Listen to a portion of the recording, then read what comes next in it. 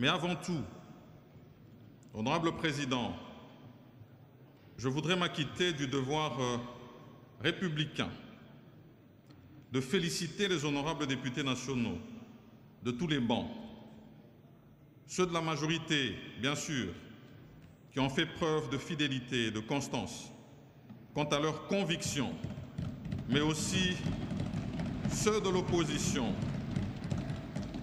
qui ont fait montre de responsabilité et ont su montrer qu'au-delà de ce qui nous divise, il existe un idéal plus noble, plus sacré qui nous unit, celui du salut de la patrie.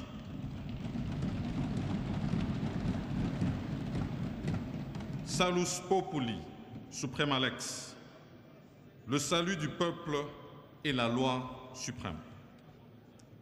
Je voudrais particulièrement remercier le président de l'Assemblée nationale pour sa sagesse dans la conduite du débat.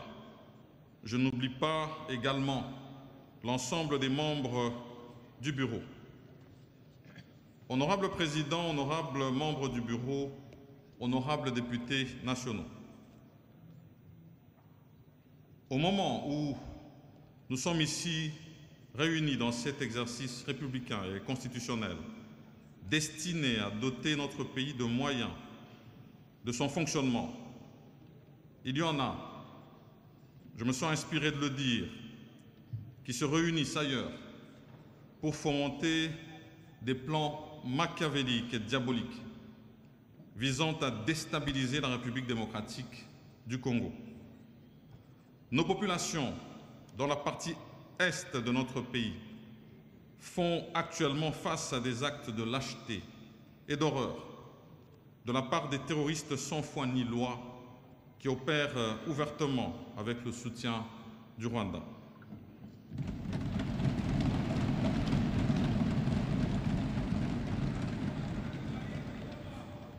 En ma qualité de Premier ministre, chef euh, du gouvernement, je voudrais dire à ces agresseurs ainsi qu'à leurs commanditaires que derrière nos forces armées et derrière le commandant suprême, son Excellence Félix-Antoine Tshisekedi Chilombo, le peuple congolais se défendra et défendra ce qui lui est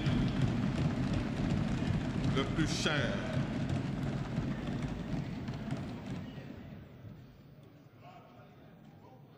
Le peuple congolais se défendra et défendra ce qui lui est le plus cher, la patrie.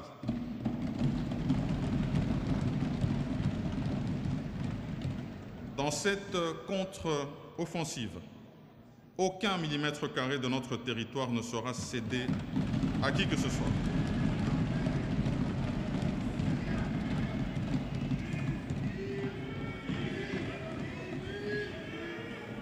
Dans cette contre-offensive, aucun millimètre carré de notre territoire ne sera cédé à qui que ce soit.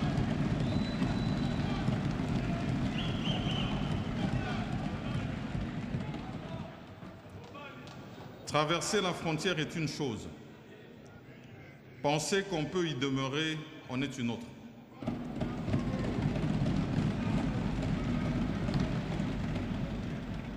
Nos ennemis usent euh, des moyens les plus vils et les plus surnois pour tuer, violer, massacrer pour atteindre leurs objectifs euh, maléfiques, en bafouant totalement les principes sacrés du droit international et du droit international humanitaire. Nous répliquerons et userons de tous les moyens de défense que nous offrent les normes internationales pour les mettre hors d'état de nuire et ramener la paix sur toute l'étendue du territoire national. Dans ce combat, le gouvernement sait compter sur l'engagement et le sens de responsabilité habituel des représentants de la nation que vous êtes. Les Congolais, qui ont toujours surmonté dans l'unité bien d'autres défis sécuritaires, ne se laisseront pas impressionner par ces atrocités, ces velléités expansionnistes, ils les surmonteront et les vaincront. Et le gouvernement, sous l'impulsion de son Excellence Monsieur le Président de la République, chef de l'État, joue et jouera sa partition. Dans cette agression, ce n'est pas l'Est du pays qui est visé, c'est toute la République démocratique du Congo.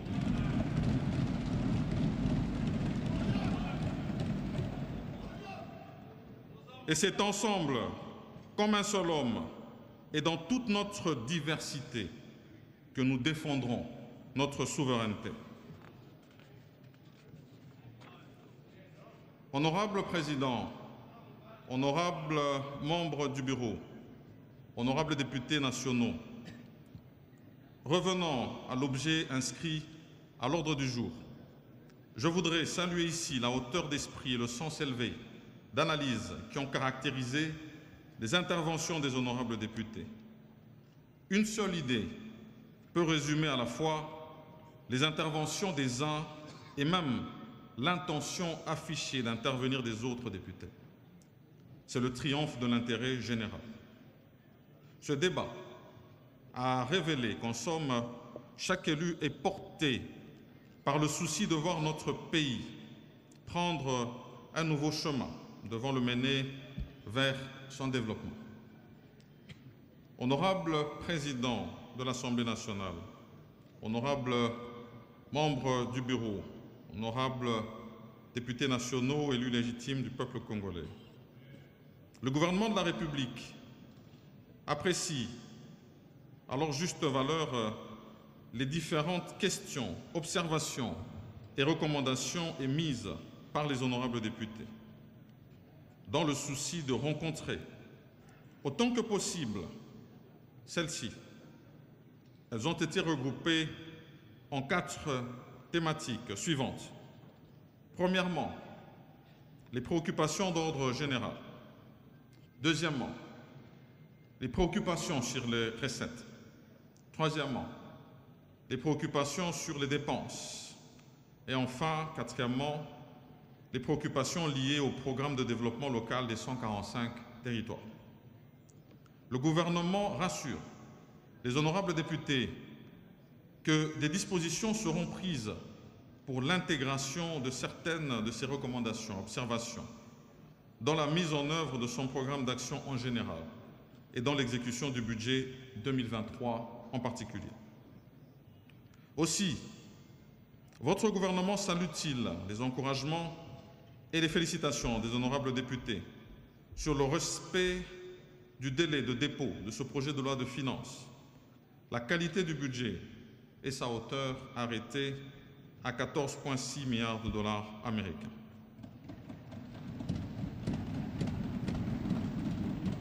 La réduction du train de vie des institutions, la mise en place des mécanismes de contrôle efficients pour l'accroissement des recettes, l'accroissement du budget alloués à la défense, à la santé, à l'enseignement ainsi qu'aux autres secteurs productifs, tant que la prise en compte du programme de développement des 145 territoires. Honorable Président, honorables membres du Bureau, honorables députés nationaux, concernant les préoccupations d'ordre général les honorables députés voudraient être fixés notamment sur euh, les points ci-après. Les mécanismes prévus par le gouvernement pour réaliser le taux de change prévu en 2023, alors que le dollar américain s'échange déjà à un taux supérieur. La promotion du petit commerce, réservée uniquement aux nationaux. L'instauration des mesures pour faciliter l'accès des nationaux au crédit bancaire, la mise en place d'un plan d'intervention visant à faire face aux catastrophes naturelles suite aux pluies diluviennes, la relance de l'AMIBA par l'octroi d'une enveloppe minimale de 20 millions de dollars américains.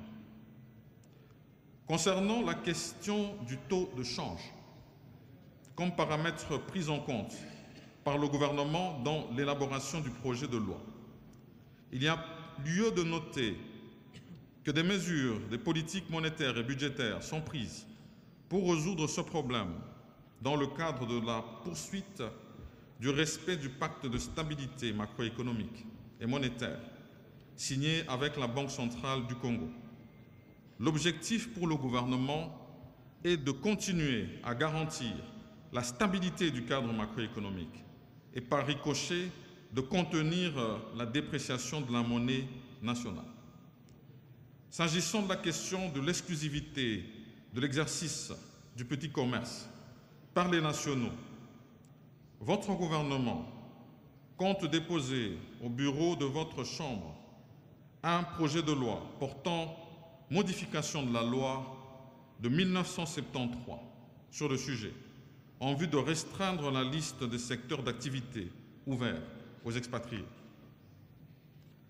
En ce qui concerne la préoccupation relative à l'accès au crédit bancaire par les nationaux, votre gouvernement vous informe que celle-ci trouvera solution non seulement dans le cadre de la création prochaine de la Banque nationale de développement, mais aussi celui de l'encouragement tout azimut du patronat public à créer son initiative une banque à capitaux congolais, telle que décidée lors de la 73e réunion du Conseil des ministres du 14 octobre 2022.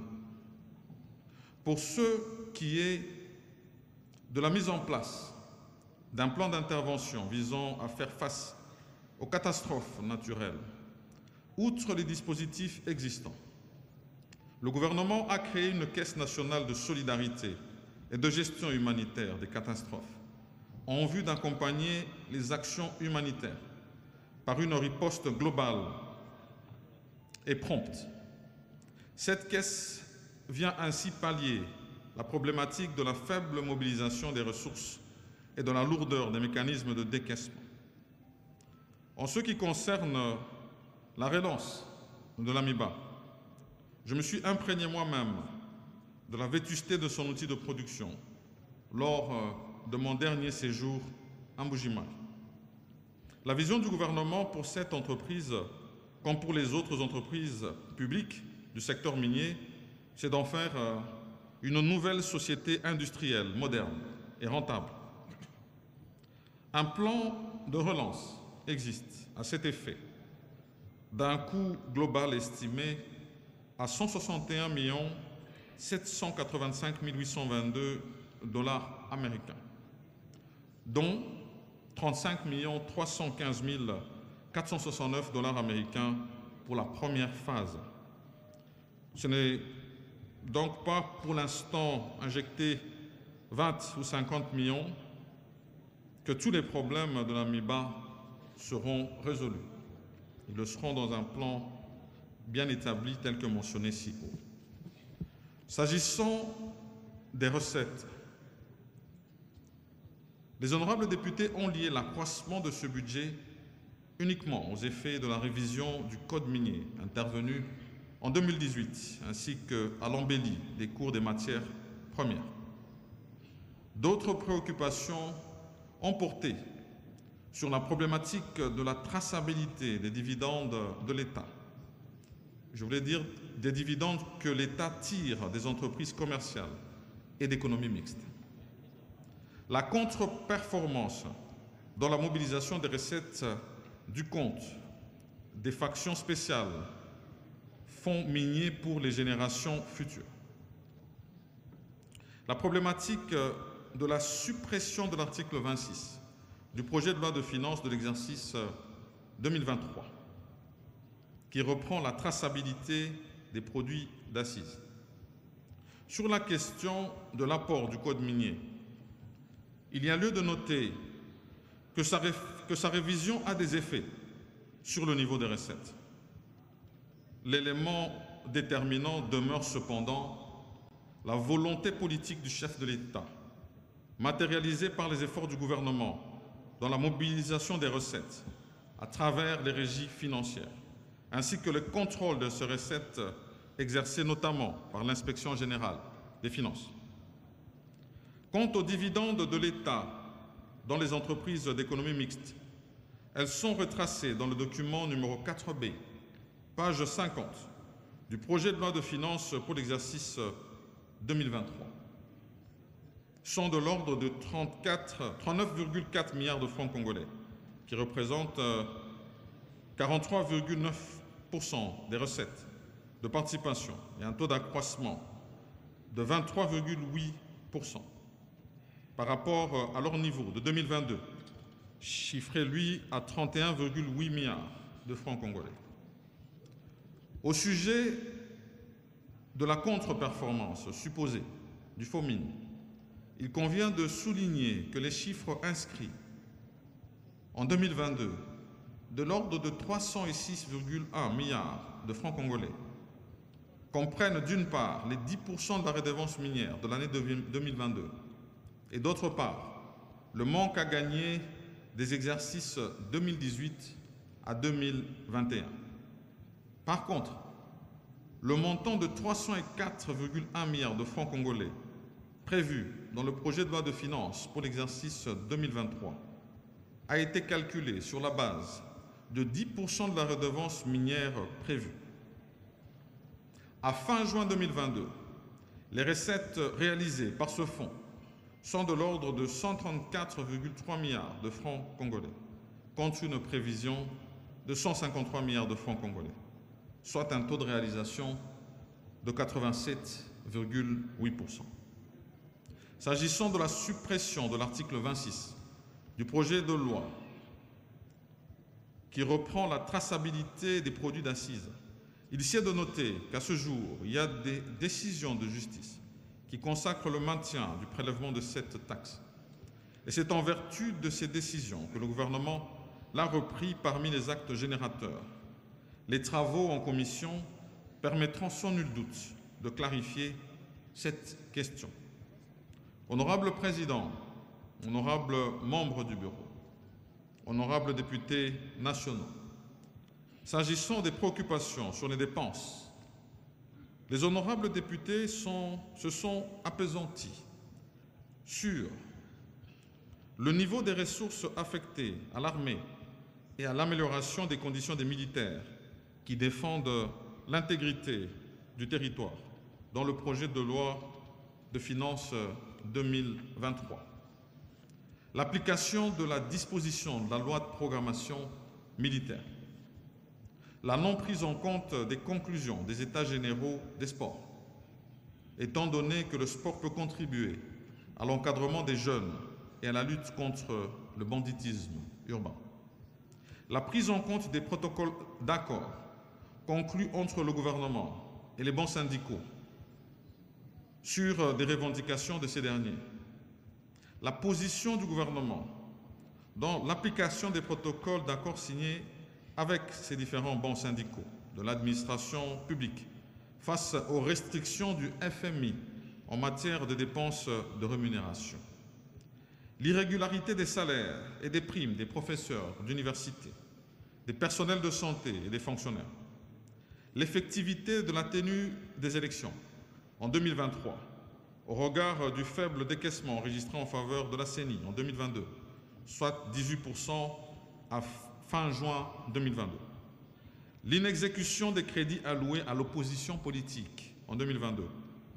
Les mesures envisagées par le gouvernement pour faire face au délabrement des structures médico-sanitaires. La révision à la hausse de la rémunération des enseignants la poursuite de la mécanisation des fonctionnaires en province, les mesures d'accompagnement envisagées par le gouvernement pour rendre la retraite agréable. Concernant les ressources affectées à l'armée et à l'amélioration des conditions des militaires, il y a lieu de noter que le gouvernement a affecté 1830,2 milliards de francs congolais à ce secteur qui représente 6,5% du budget général et un accroissement de 55% par rapport au budget 2022. Ce montant permettra la mise en œuvre à partir de 2023 de la loi de programmation militaire qui comprend entre autres la rationalisation de la gestion des ressources humaines, les formations et entraînements, les opérations, les équipements, les infrastructures et la production militaire. S'agissant des élections de 2023, le gouvernement réaffirme sa ferme volonté de les tenir dans les délais constitutionnels. À ce jour, la CENI a bénéficié d'une enveloppe de 414,5 millions de dollars américains au titre d'opération pour l'exercice 2022 sur une prévision annuelle de 648,4 millions de dollars américains, en ce compris les frais d'installation et des arriérés. Les travaux se font avec euh, le bureau de la CENI en toute responsabilité pour suivre ce processus de près. La tranche de 2023 projetée à près de 400 millions de dollars américains permettra de couvrir les autres activités prévues dans le cadre des opérations électorales. Pour ce qui est des crédits alloués à l'opposition politique en 2022, leur exécution est tributaire du choix de son animateur, non encore désigné à ce jour, qui en sera le gestionnaire. S'agissant de la jeunesse, il y a lieu de noter que votre gouvernement l'accompagne à travers les crédits positionnés dans plusieurs ministères, dont celui de la jeunesse, des sports et loisirs, celui des affaires sociales et humanitaires, celui de la formation professionnelle et métiers, celui des petites et moyennes entreprises, celui de la culture ainsi que d'autres ministères. Cet accompagnement se traduit notamment par l'agrément des différentes disciplines sportives, par les projets de construction des infrastructures sportives dans les stades municipaux, qui constituent un cadre permanent à la jeunesse de s'épanouir physiquement, socialement, moralement, et par des programmes spécifiques de formation professionnelle afin de permettre à la jeunesse de s'intégrer dans la société. Quant aux conclusions des États généraux des sports, organisés récemment après la tenue des conférences budgétaires, votre gouvernement propose que cette question soit examinée au niveau de la Commission économique et financière. Par rapport aux enseignants et autres fonctionnaires non payés, à ce jour, le gouvernement, dans le cadre de sa politique d'inclusion salariale, procède à la réduction progressive, progressive, je voulais dire, des effectifs de cette catégorie à travers toute la République et entend poursuivre cette action après le processus d'identification biométrique en cours. En ce jour, il a procédé à la mécanisation de 70 353 enseignants et 36 000 agents et fonctionnaires de l'État, dont 945 dans la province de la Lomami, parce que la question a été posée, et 830 dans le Congo. Honorable député, je voudrais donner la position du gouvernement dans l'application des protocoles d'accord signés avec les différents bons syndicaux de l'administration publique face aux recommandations du FMI en matière de dépenses de rémunération. À ce propos, tout en respectant le, le programme conclu avec cette institution financière internationale, ainsi que les différents protocoles d'accord avec les bons syndicaux, votre gouvernement s'emploie et s'emploiera à honorer tous ces engagements de manière à préserver l'équilibre dans les limites fixées pour cette rubrique dans le mémorandum des politiques économiques et financières. En rapport avec la question évoquant le retard sur les paiements des salaires et primes des professeurs d'université, du personnel de santé et des fonctionnaires en province, il y a lieu de noter que le gouvernement assure régulièrement la paie des agents et fonctionnaires de l'État, y compris les professeurs d'université et le personnel médical. Cependant, suite à l'immensité du territoire national, certaines institutions payeuses rencontrent des difficultés pour s'exécuter dans le délai, notamment dans les zones à accès difficile. Le gouvernement met tout en œuvre pour résorber cette question à travers la valorisation de certaines institutions financières, à l'instar de la CADECO. Concernant les mesures d'accompagnement envisagées pour rendre la retraite décente, le gouvernement dispose de la Caisse nationale de sécurité sociale des agents publics, qui a pour mission d'assurer la retraite des agents et fonctionnaires de l'État. Cette caisse a permis d'assurer le basculement du système de sécurité sociale des agents publics de l'État, du régime octroyé vers euh, le régime contributif, lequel a offert l'avantage d'une augmentation allant de 300 à 800% des montants de pension et de rente servis actuellement par l'État aux bénéficiaires concernés. En outre, la loi numéro 22 031 du 15 juillet 2022 portant régime spécial de sécurité sociale des agents publics et de l'État a élargi le champ du personnel avec l'intégration des agents de l'État régis par les statuts particuliers, tels que les militaires, les policiers, les magistrats et les enseignants, avec euh, l'opérationnalisation de la branche risque professionnel. En vue de faire face au délabrement des structures euh, médico-sanitaires, votre gouvernement déploie des efforts en collaboration avec euh, ses partenaires techniques et financiers dans le cadre du projet de développement du système de santé pour assurer la construction et la réhabilitation des structures sociales.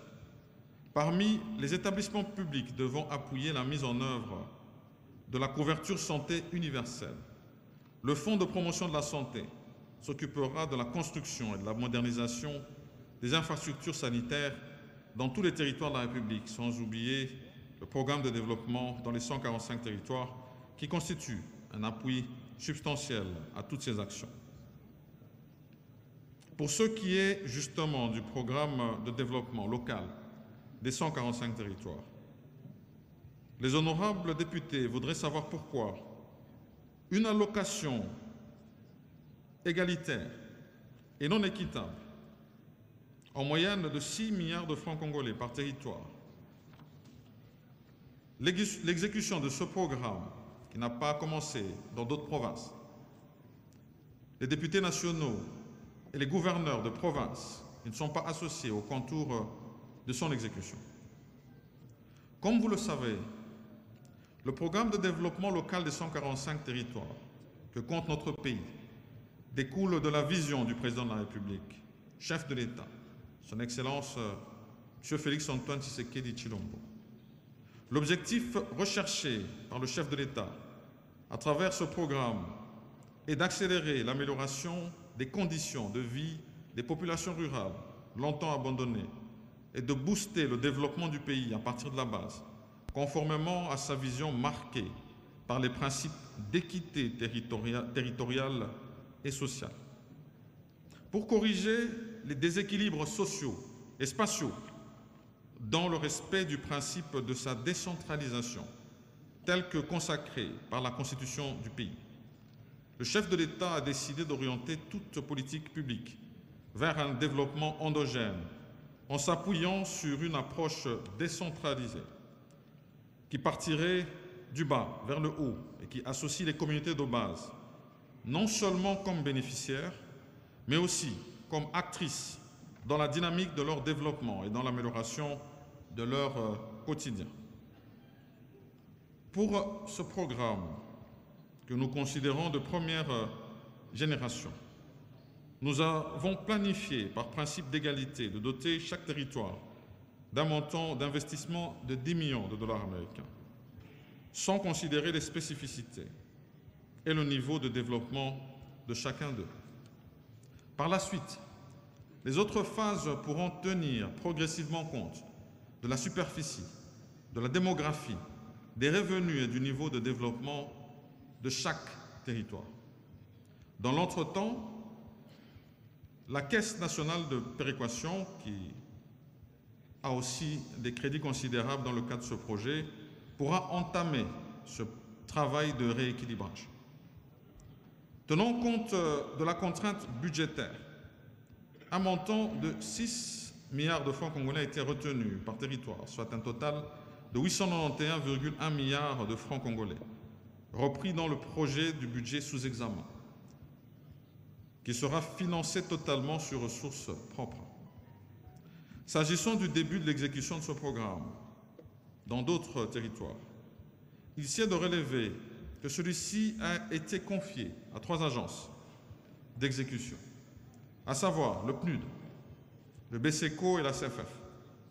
Le gouvernement a attribué à chacune de ces agences une répartition géographique pour l'exécution de ce programme, compte tenu de l'étendue de notre pays. En vue d'éviter les erreurs du passé, le gouvernement veille au respect des préalables suivants avant le démarrage des travaux. Il s'agit de la localisation physique des lieux des travaux, de la réalisation de toutes les études préalables à l'exécution des travaux, à savoir la préparation des plans types, les études de faisabilité et la préparation des cahiers de charges, le bouclage du financement intégral de la phase concernée, la passation des marchés conformément aux lois et règlements en vigueur, enfin le déploiement des entreprises et l'exécution des travaux sur terrain.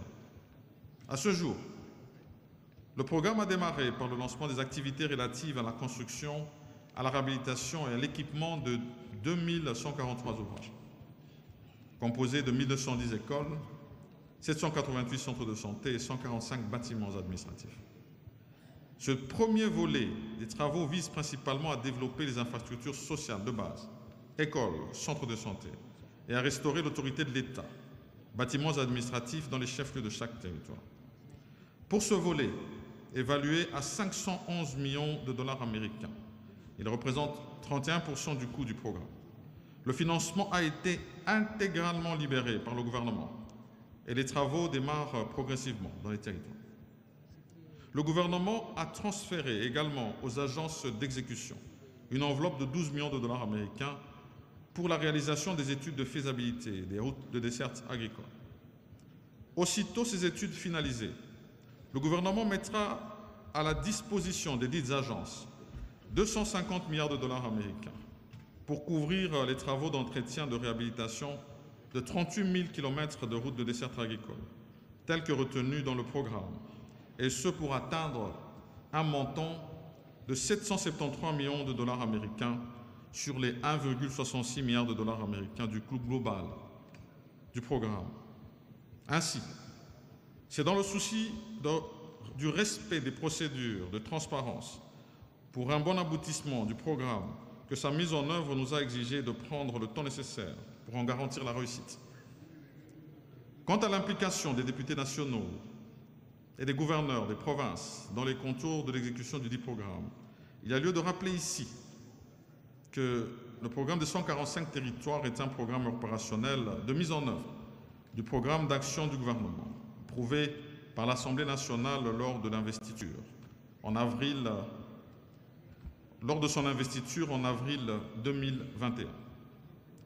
Pour sa formulation, le gouvernement a confié les travaux d'identification, de hiérarchisation et de priorisation des besoins de chaque territoire aux délégués des territoires et aux gouverneurs de province, qui par ailleurs ont signé les PV de sélection des projets.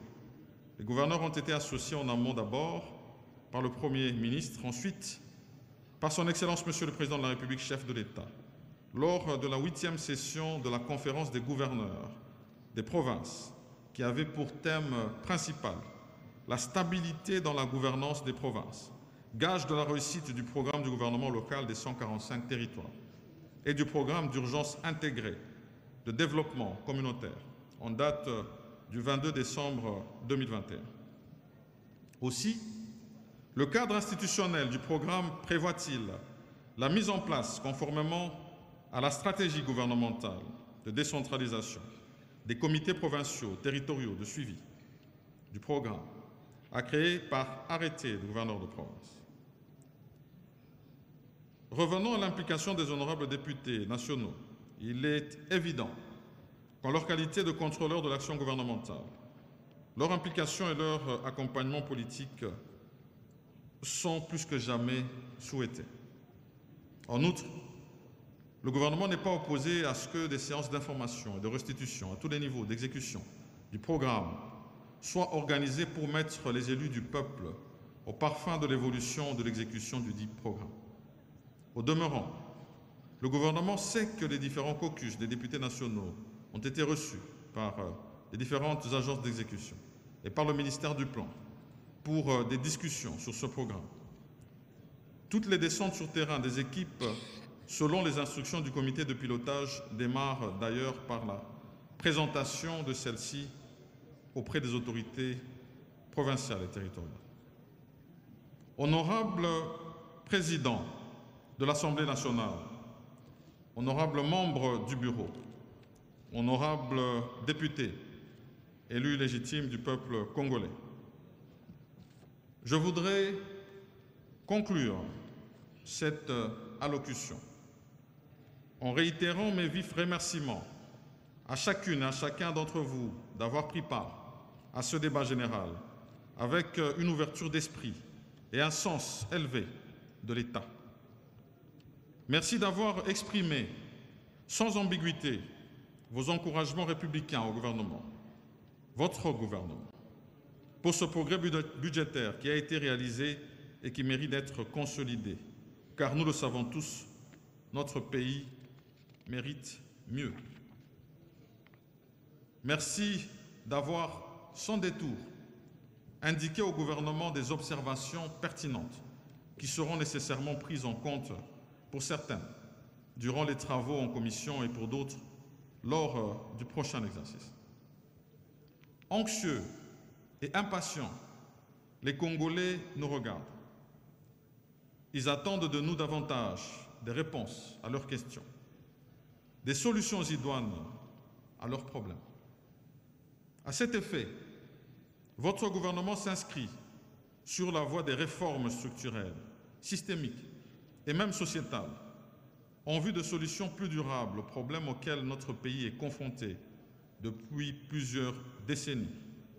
Nous pensons que c'est dans l'effort partagé, dans la confiance mutuelle et dans une volonté collective inébranlable que nous pourrons être à même d'accélérer le développement de nos territoires, de nos provinces et de notre pays.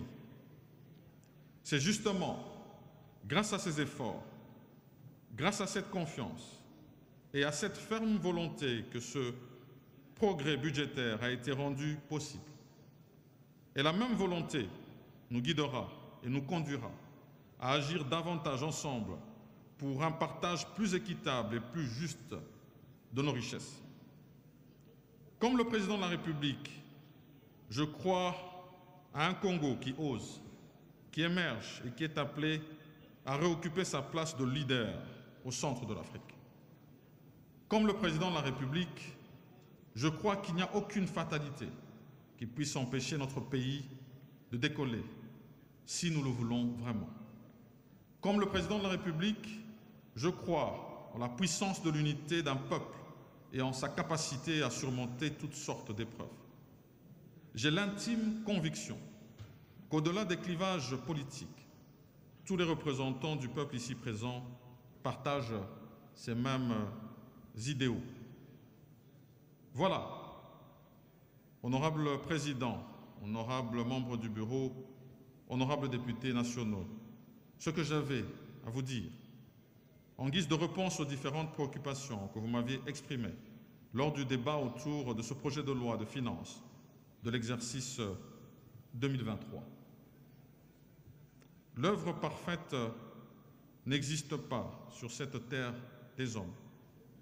C'est pourquoi l'ensemble du gouvernement se tient à la disposition de la Commission économique et financière, de votre Chambre, en vue des améliorations éventuelles. En attendant, je réitère humblement ma demande d'un vote de recevabilité unanime de ce projet de loi.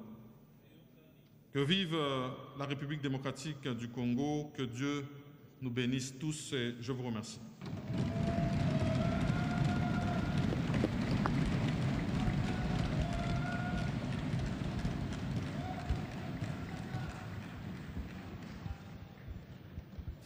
formellement, la présentation est Monsieur le Premier ministre, chef du gouvernement, nous saluons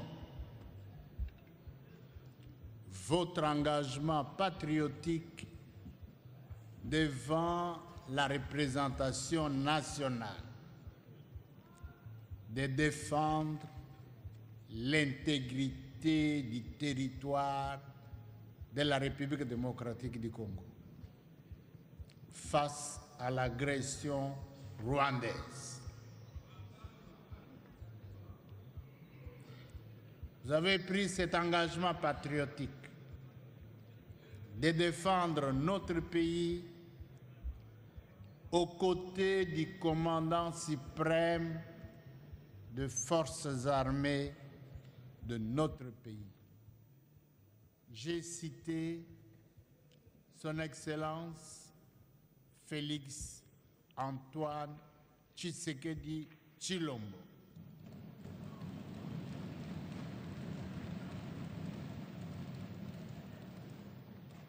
Président de la République et chef de l'État. Ensuite,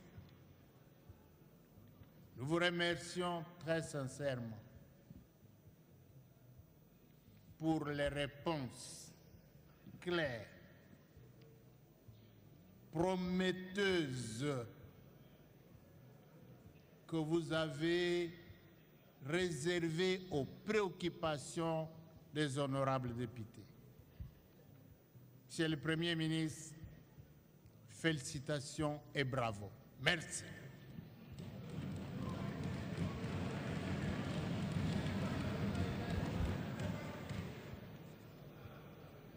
Honorables députés, chers collègues,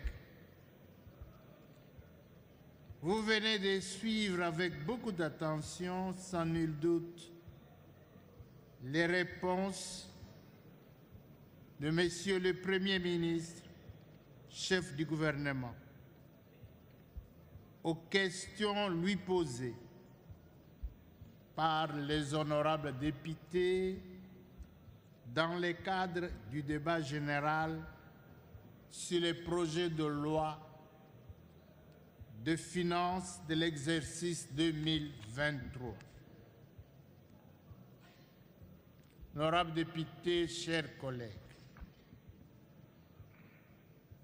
après ces brillantes réponses, le débat général sur les projets de loi de finances de l'exercice 2023 est clos. À présent, conformément à l'article 148, alinéa 3 de notre règlement intérieur, nous pouvons nous prononcer quant à sa recevabilité. Qui sont pour? À l'unanimité Merci.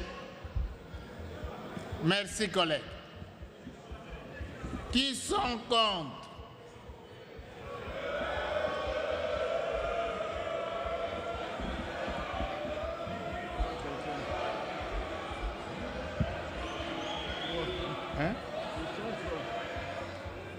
Minawaza banaloloka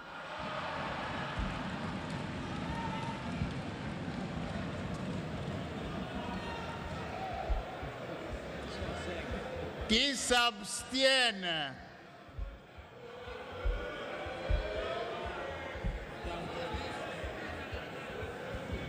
Hata tuludipaka tena eh? Puisque abusipenda bije, mnatoka wapi?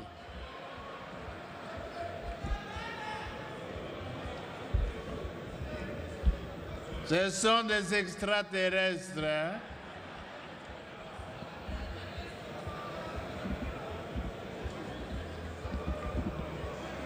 Honorables députés, chers collègues, au vu du résultat des votes, l'Assemblée plénière déclare recevables les projets de loi de finances de l'exercice 2023.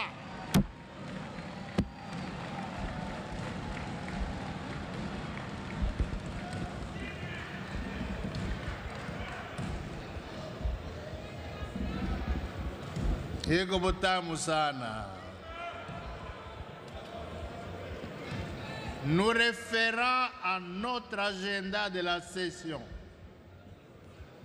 nous l'envoyons pour examen approfondi à notre commission économique, financière et de contrôle budgétaire. Nous accordons à celle-ci un délai de 15 jours pour réaliser le travail lui confié. Ce délai court du mercredi 2 au samedi 15 novembre 2022. Le bureau de cette commission est invité à prendre toutes les dispositions pour le respect du timing. Par ailleurs, les collègues non membres de cette commission peuvent participer activement à ces travaux afin d'en améliorer la qualité. Dans le même ordre d'idées, les membres du gouvernement concernés, par l'examen de ces projets de loi,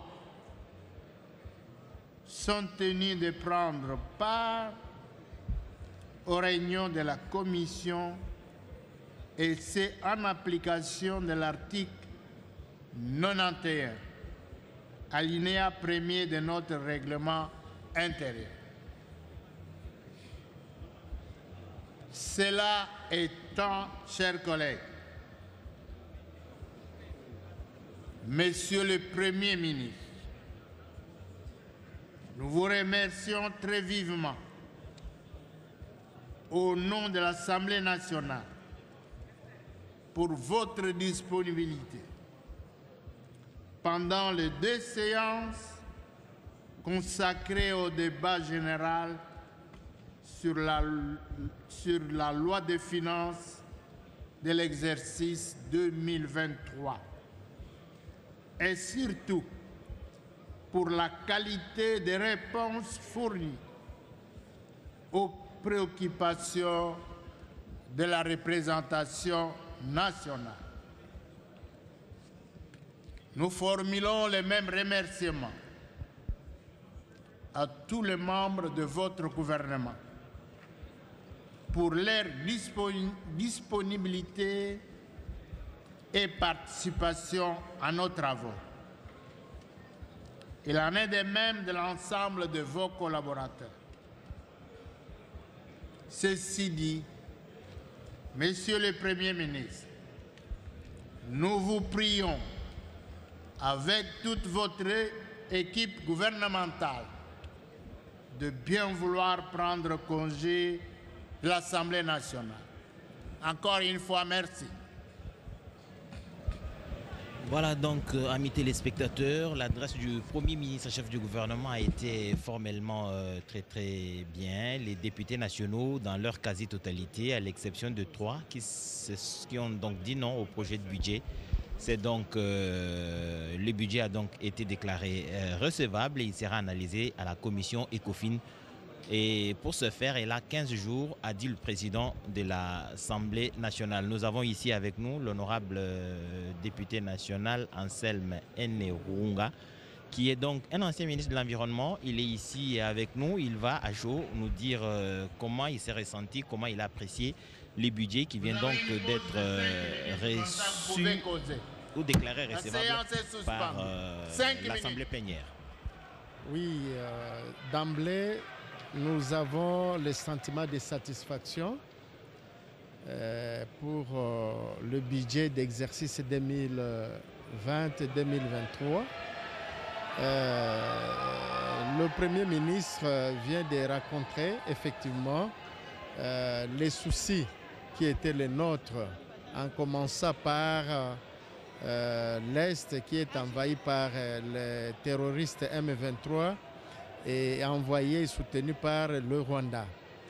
je pense que par le fait que le Premier ministre met en exergue cet état des choses à l'Est, ça nous donne vraiment euh, de l'espoir de récupérer notre territoire envahi par les Rwandais.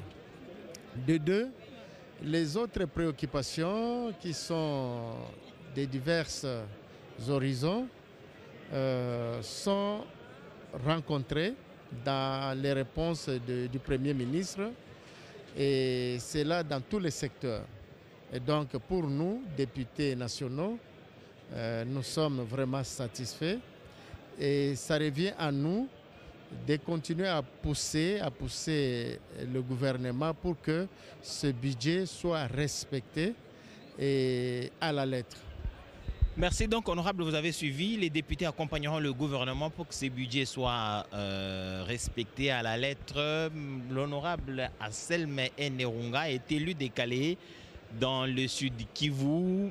Euh, les députés nationaux ont voté, euh, ont reçu les projets de budget présentés par le Premier ministre chef du gouvernement qui a mis en exergue la volonté du gouvernement de lutter contre les terroristes du M23 et leur euh, mentor qui est le Rwanda, qui a d'ailleurs envoyé ses troupes sur notre sol. Et l'engagement est sans faille à tous les niveaux. Les responsables de la République et le peuple congolais s'activeront pour mettre euh, hors d'état de nuire ou hors du territoire national ces euh, ennemis de notre peuple. L'engagement du gouvernement est certain, mais les réponses aussi ont été données dans divers, euh, dans divers domaines où il y a eu des préoccupations des honorables députés nationaux Fezaka Longola. Merci beaucoup Edith Chala.